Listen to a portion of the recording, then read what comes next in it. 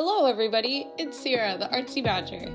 And in case you can't tell by my voice, I've been sick for the past week and it is affecting my poor little vocal cords. As it is encroaching on the end of May, I decided to do one last mermaid video.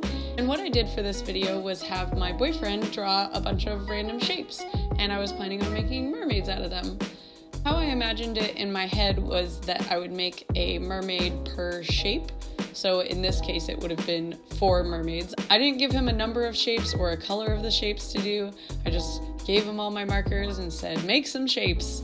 Then as I was staring at the blank void with these shapes, I realized that I just didn't have enough room to make four different mermaids on the page. So then I decided to make two mermaids, each of them utilizing two of the shapes. And I've talked about this before in shapes challenges where a lot of the times I instantly have an idea when I look at a shape. And it's hard for me to get that idea out of my head, and I spend many, many minutes staring at it, hoping that something else will come to mind. But alas, my initial gut image is usually the one that prevails. And that was definitely the case with the mermaid that's on the right with the gray helmet head dress thing. Um, I just really saw these like dark eyes peering out from underneath this, I don't even know what you would call it, headdress, I suppose. And then, you know, I made a, a tail fin and I tried to make it not super uh, typical, I suppose. And then it was for those last two shapes, which you've kind of seen me working through it already um, earlier on in this video. I was trying to make a headdress out of the orange one for a little bit, but then I decided I didn't want the mermaids to be oriented the same way. They would just be too similar if they were both sitting up. So I decided to make the blue shape the headdress.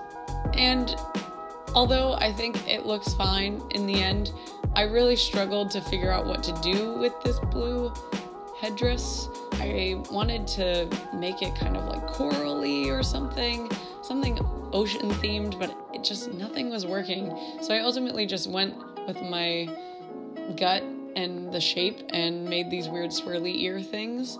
Don't ask me what they are. They're just there to add interest. I also really struggled on the pose with this second mermaid because her back is like arched and I kept making the back too long or too short or I don't know. It was just a challenge. So you will see me rework that many, many times. I also felt that I wasn't providing enough detail in my mermaids. I don't know why I wasn't able to pull more inspiration from the shapes to give them more interesting details, but they were feeling really boring to me. So I decided to make the tail fin of the left mermaid have like a bunch of torn holes in it. And since I already had a vision of the right mermaid having these really dark eyes, these mermaids kind of turned more into siren like characters. I know sirens are pretty much mermaids, but they're kind of like evil mermaids.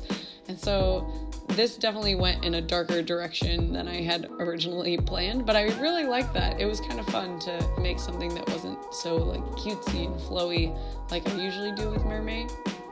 I also edited this video in a different way than I normally do. And from what people tell me, it's not that noticeable when I edit it one way or another, but I edited this video a little bit more like my Drawcember videos where I was doing a video every single day where I just sped up all the clips and cut out the lulls. But normally I cut out a lot of the process and make it a lot faster, and you don't see me kind of like reworking the same shape over and over and over and over and over. but I thought it would be kind of fun to do it differently, both to add a little bit of time because I've had a lot of short videos lately, but also to kind of give you guys a better idea of what goes on behind the scenes because nothing is ever as easy as it looks, I feel like. Everything is edited in a way that, you know, you see the start and then the finish and you don't really see the journey. But I know that the journey is very important in pretty much all aspects of life. So I've really slowed down some of the inking so that you can see how freaking slow I am. And then just you know, didn't cut anything out, showing all of my mistakes and edits and readjustments to create a finished product. How do you guys feel about me doing this style of video where you see the whole thing? Do you prefer that or do you prefer the super edited down version? Let me know. Maybe I'll even put a poll up. I feel like it's been a while since I did a poll.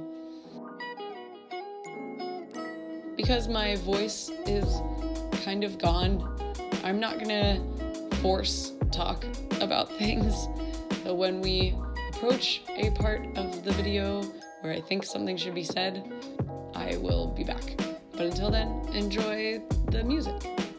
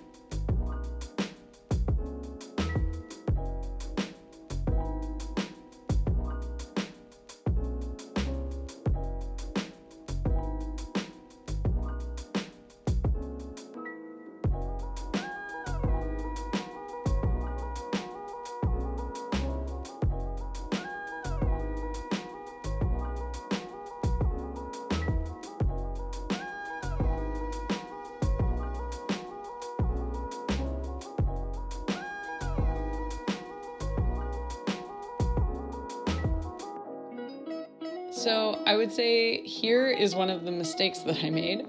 I didn't like the way the kind of underneath that right mermaid's left arm was, and I filled it in black, and it just looked so stark in comparison to everything else because I usually do really kind of delicate light line work.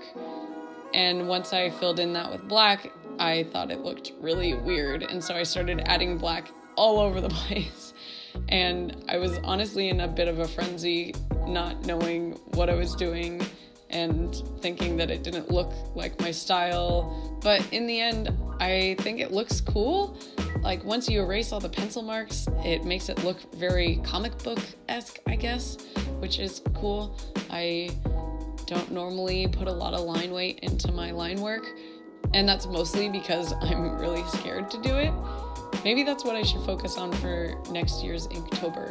Not that I should be planning for that already, but I'm always looking forward to Inktober.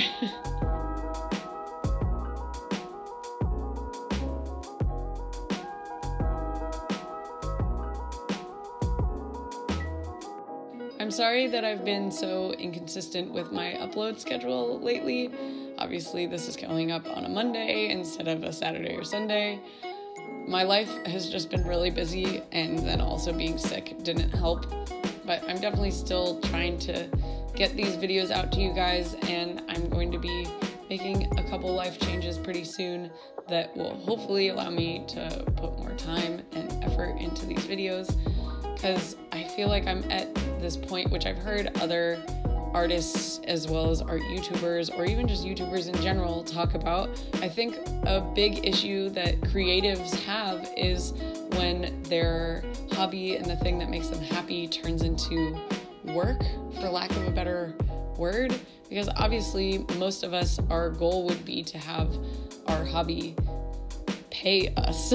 So it's not that that is the problem.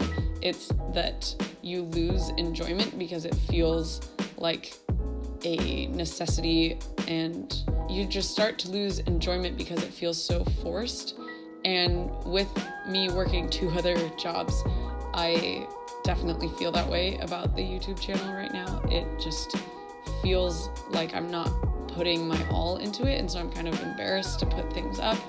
And I don't want to be embarrassed. I want to be proud of what I show to you guys.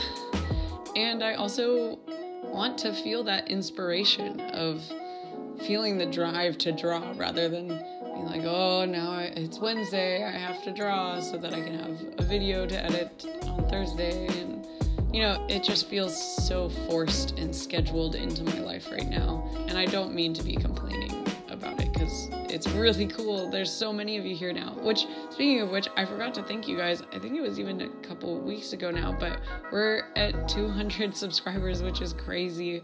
I never thought it would get this big. I'm speechless. It's really exciting. And I think that's part of why I'm feeling this way is I am feeling a lot of pressure and I really want to have the time to put out content that is exciting and new and makes me proud.